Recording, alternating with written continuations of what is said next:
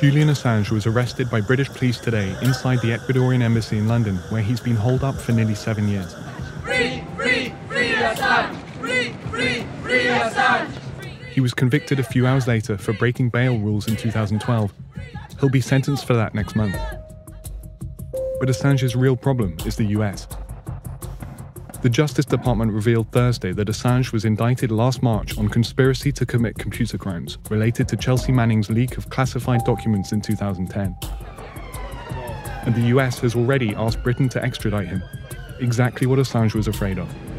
Since 2010, we've warned that Julian Assange would face prosecution and extradition to the United States for his publishing activities for WikiLeaks. Unfortunately, today we've been proven right. We spoke to Assange's lawyer last summer in anticipation of his potential eviction.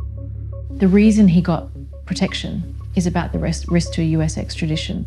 Now, that risk has only heightened over time. We've seen since Trump came to power, Julian has always said he's very happy to come out and face British justice, but not at the risk of facing American injustice.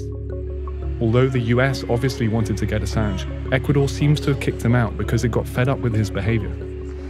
In 2017, the country elected a new president, Lenin Moreno, who imposed new rules on Assange, including restricting his use of the internet.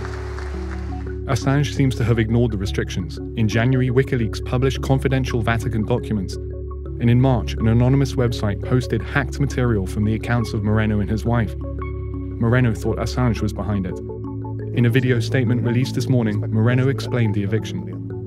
Hoy anuncio que la conducta irrespetuosa y agresiva del señor Julian Assange, las declaraciones descorteses y amenazantes de su organización aliada en contra del Ecuador y sobre todo la transgresión de los convenios internacionales han llevado la situación a un punto en que el asilo del señor Assange es insostenible e inviable. Assange will now have to fight extradition to the US, which will be tough because of the type of charge he faces. If he'd been charged with espionage, British law could have barred extradition since it carries the death penalty. And if he'd been charged with publishing Manning's documents, his lawyers could have used the First Amendment as a defence. There are serious questions to be asked of the UK government about whether the UK government wants to be complicit in extraditing a publisher to face prosecution for publishing, which is protected activity.